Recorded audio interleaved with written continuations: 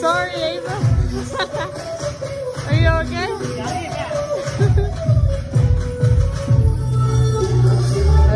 I, didn't mean to scare you.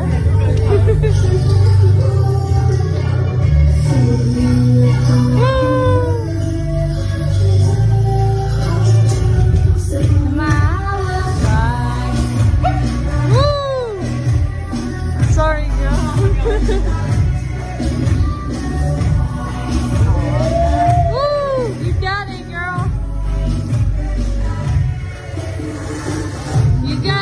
呜